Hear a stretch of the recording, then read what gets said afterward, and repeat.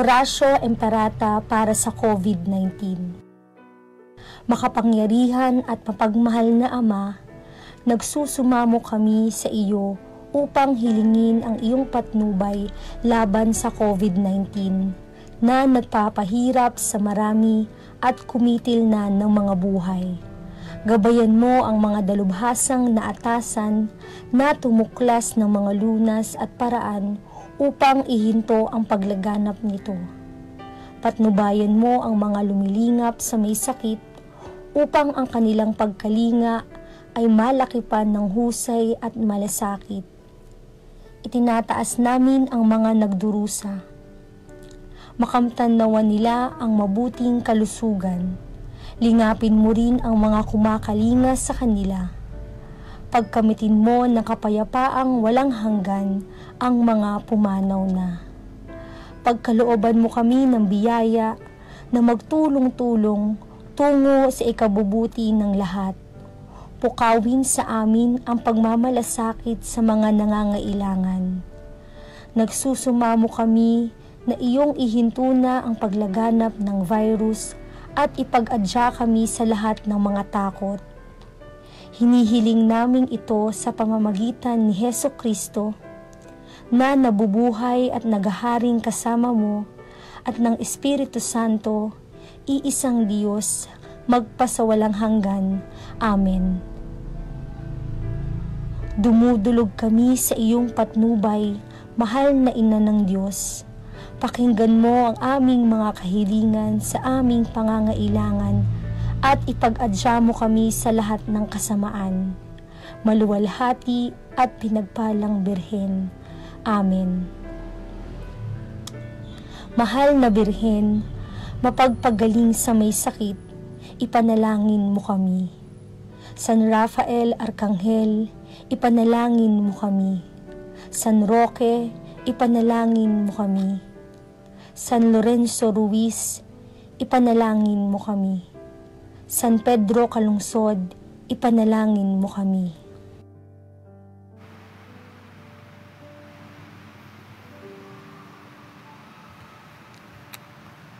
Isang magandang hapon po sa inyong lahat. Atin pong dasalin ang orasyon. Sa ngala ng Ama, ng Anak at ng Espiritu Santo. Amen. Nagbalita ang anghel ng Panginoon kay Santa Maria. At siya'y naglili, lalang ng Espiritu Santo Aba, Ginoong Maria, napupuno ka ng grasya, ang Panginoong Diyos ay sumasa iyo. Bukod kang pinagpala sa babaeng lahat at pinagpala naman ng iyong anak na si Jesus. Santa Maria, Ina ng Diyos, ipanalangin mo kaming makasalanan, ngayon at kung kami mamamatay. Amen. Narito ang alipin ng Panginoon. Maganap nawa sa akin ayon sa wika mo. Aba, Ginoong Maria, napupuno ka ng grasya, ang Panginoong Diyos ay sumasa iyo. Bukod kang pinagpala sa babaeng lahat at pinagpala naman ng iyong anak na si Jesus. Santa Maria, Ina ng Diyos, ipanalangin mo kaming makasalanan, ngayon at kung kami mamamatay. Amen. At ang salita ay nagkatawang tao. At nakipamuhay sa atin. Aba, Ginoong Maria, napupuno ka ng grasya, ang Panginoong Diyos ay sumasa iyo.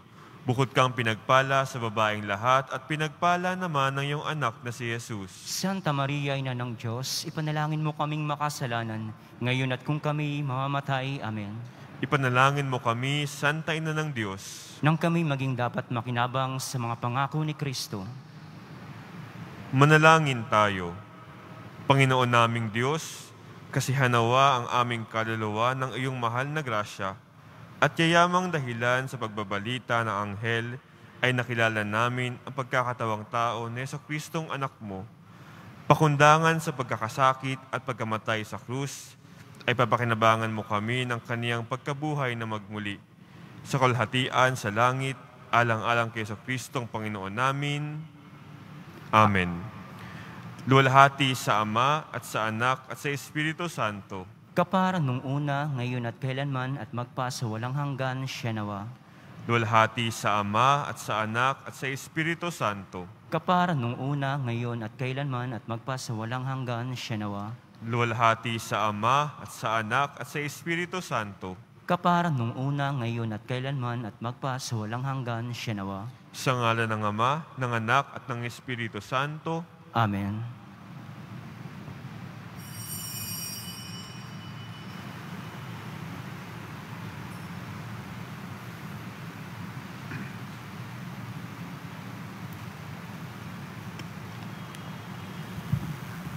Ating dasalin ang panalangin sa takip silim. O Diyos, salina at ako'y tulungan. O Panginoon, magmadali ka sa iyong pagdamay, Papuri sa Ama at sa Anak at sa Espiritu Santo. kapara noong una, ngayon at magpa sa walang hanggan. Amen.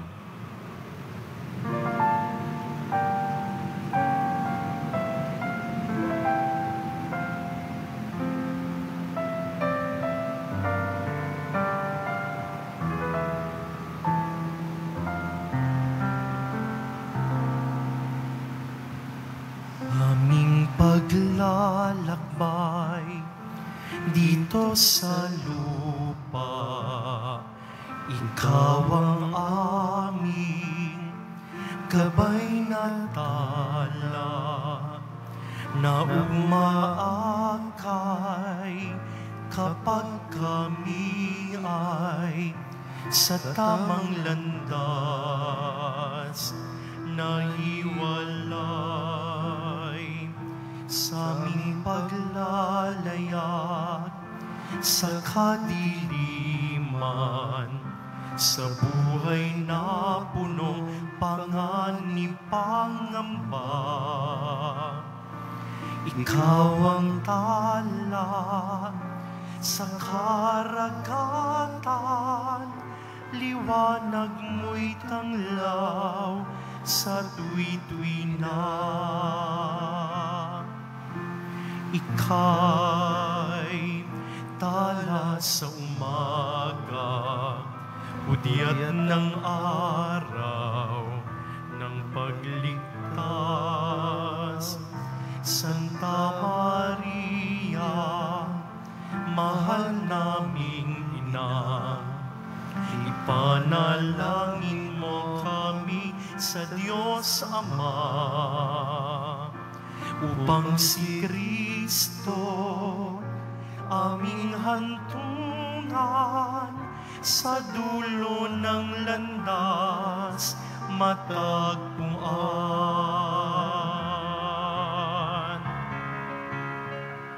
Santa Maria, mahal naming ina, ipanalangin mo sa Diyos Ama upang si Kristo aming hantungan sa dulo ng landas matagpuan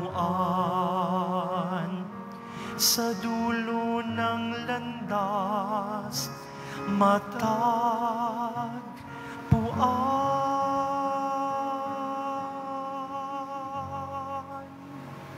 Unang antipona. Ipanalangin ang kapayapaan ng Jerusalem. Ipanalangin ang kapayapaan ng Jerusalem. Ako ay nagalak sa sabing ganito, Sa bahay ng Panginoon ay pumasok tayo. Sama-sama kaming matapos sa pitin ang pintuang lunsod nitong Jerusalem. Yaong Jerusalem, kay ganda ng anyo, maganda ang ayos na umuling matayo. Dito umahon ang lahat ng angkan, lipi ni Israel upang manambahan. Ang hangad ang Panginoon ay pasalamatan, pagat ito'y utos na dapat gampanan. Doon din naroon ang mga hukuman at trono ng haring hahatol sa tanan.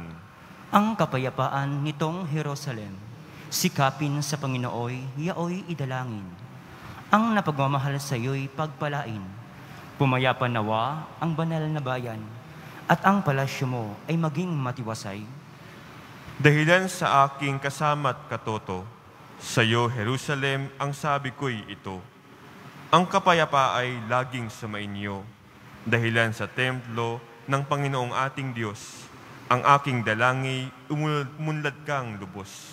Papuri sa Ama at sa Anak at sa Espiritu Santo. Kapara nung una, ngayon at magpa sa walang hanggan. Amen. Ipanalangin ang kapayapaan ng Jerusalem. Ikalawang antipona. Mula sa umagang pagbabantay hanggang gabi, ako'y naghintay ng buong tiwala sa Panginoon. Mula sa umagang pagbabantay hanggang gabi, ako'y naghihintay ng buong tiwala sa Panginoon. Sa gitna ng paghihirap, tinawag ko'y Panginoon. Kaya, Panginoon, ako'y dinggin, pagkat ako'y tumataghoy. Dinggin mo ang pagtawag ko't paghingi ng iyong tulong. Kung ikaw ay may talaan nitong aming kasalanan, lahat kami at tatanggap ng hatol mong nakalaan. Ngunit iyong pinatawad, kasalanan ay nilimot. Pinatawad mo nga kami upang sa iyo ay matakot. Sabik akong naghihintay sa tulong mo, Panginoon, pagat ako'y may tiwala sa pangako mong pagtulong. Yaring aking pananabik, Panginoon, ay higit pa sa serenong naghihintay ng pagsapit ng umaga. Magtiwala ka, Israel. Magtiwala sa iyong Diyos. Matatag at di kukupas ang pag-ibig niyang dulot. Lagi siyang nakahandang sa sinuman ay tumubos. Iligtas ang Israel, yaong kanyang mga hirang. Iligtas niya sa kanyang kanilang kasalanan. Papuri sa Ama at sa Anak at sa Espiritu Santo, Kapara nung una, ngayon at magpa sa walang hanggan. Amen. mula sa umagang pagbabantay hanggang gabi, ako'y naghihintay ng buong tiwala sa Panginoon. Ikatlong antipona.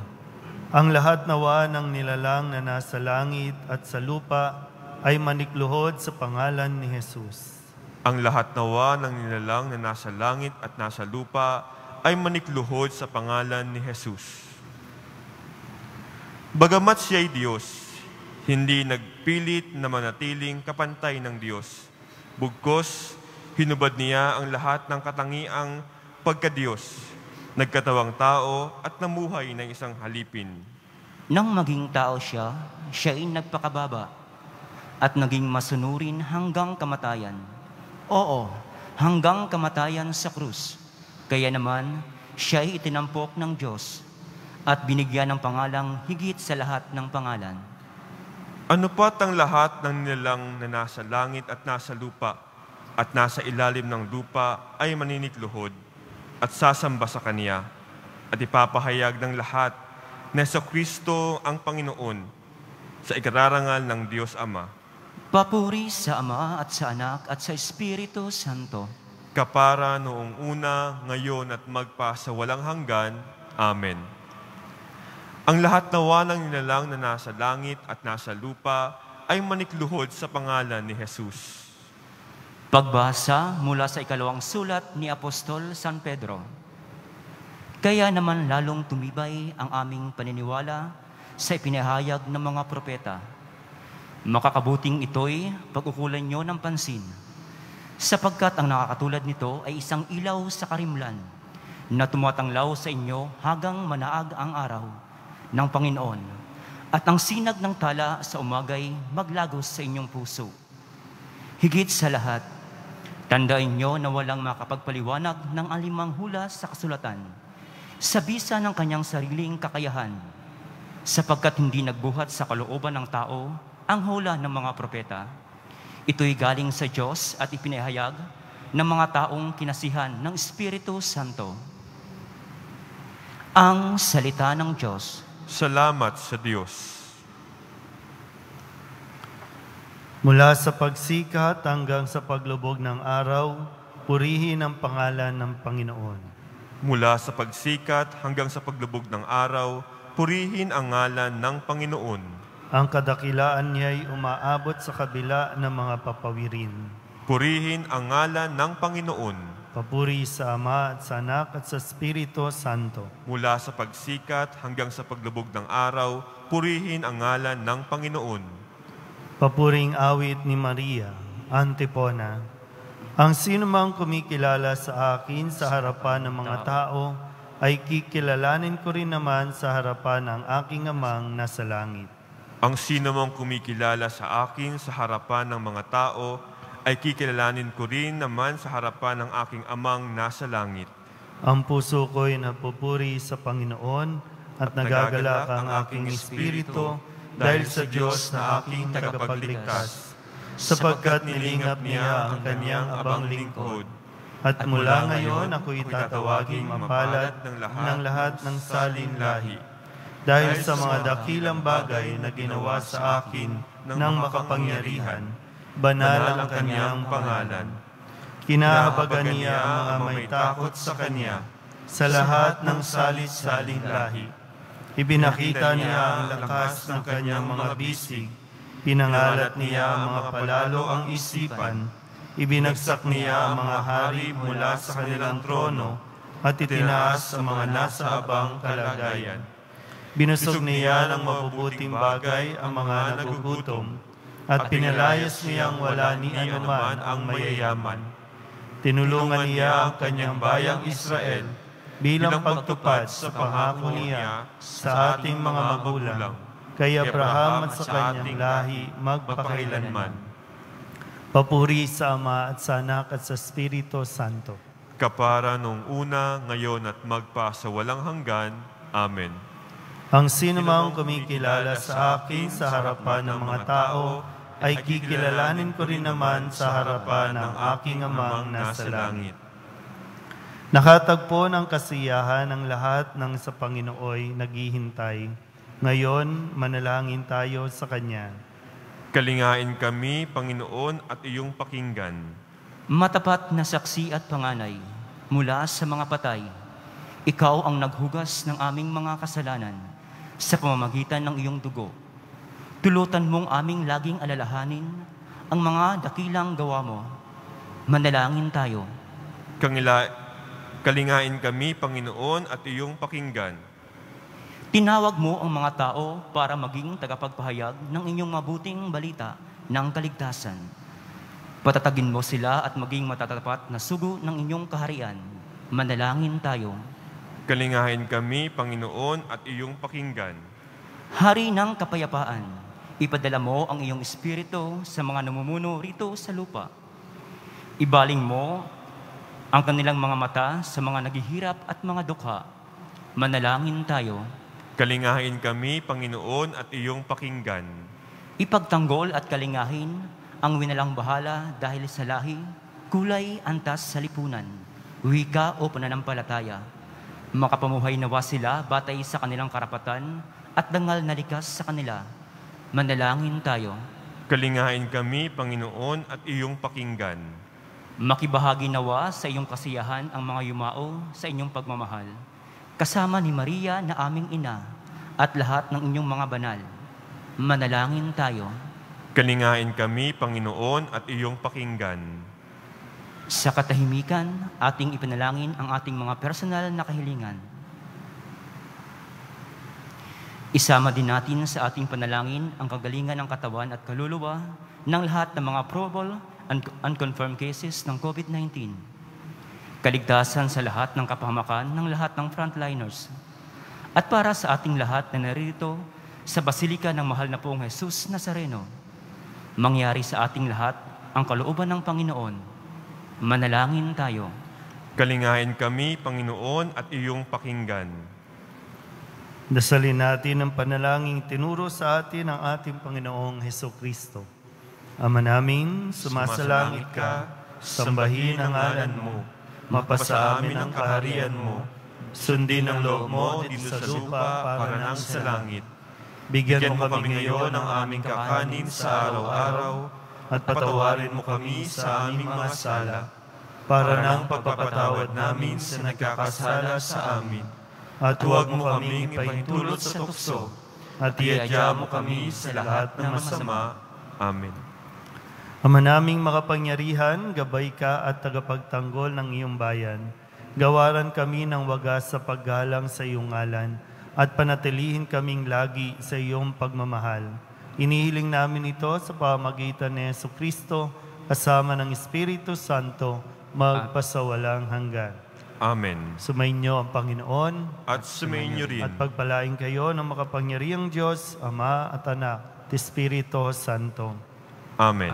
Kalinis-linis ang puso ni Maria, Ipanalangin mo kami. San Juan Bautista, Ipanalangin mo kami. San Roque, Ipanalangin mo kami. San Lazaro, Ipanalangin mo kami. San Lorenzo Ruiz, Ipanalangin mo kami. San Pedro Calungsod. Ipanalangin mo kami. Magandang gabi po. Iba-iba po ang nararanasan natin sa kasalukuyan. Yung iba sa atin ay nasunugan, nawalan na ng tirahan, habang naghahanap ng makakain, naghahanap din ng matutuluyan, nagsasabay-sabay, nagkakahiwalay ang iba, namatayan na, namatay na, hindi pa nagkita-kita,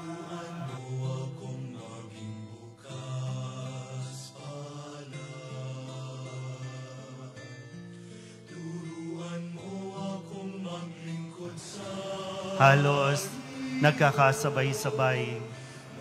Nagkaroon tayo ng COVID, naging quarantine tayo o kinarantin tayo. Kasabay nito, biglang dumating ang bagyo sa iba't ibang lugar. Habang naka-quarantine,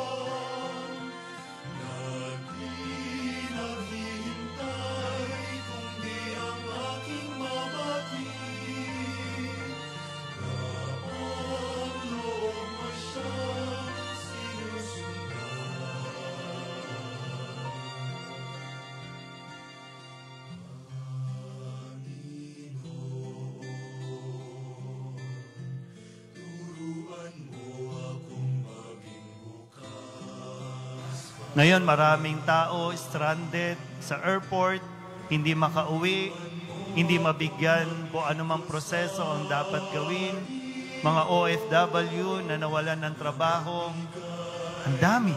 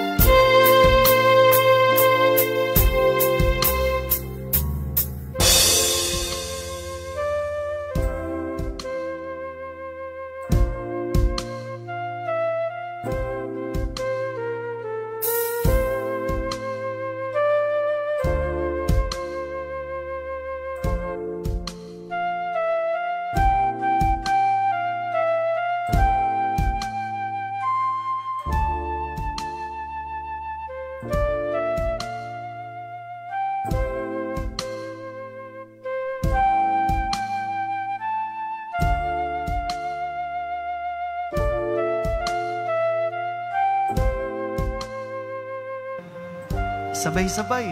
Minsan, talaga ito yung mga mensahe na ibinabato sa atin. Kung kaya, no, kasabay nito, sinasabayan din tayo ng Panginoon sa atin pong mga rara- nararanasan. Anumang hirap ng ating pinagdaraanan, sinasamahan tayo ng poong Jesus Nazareno.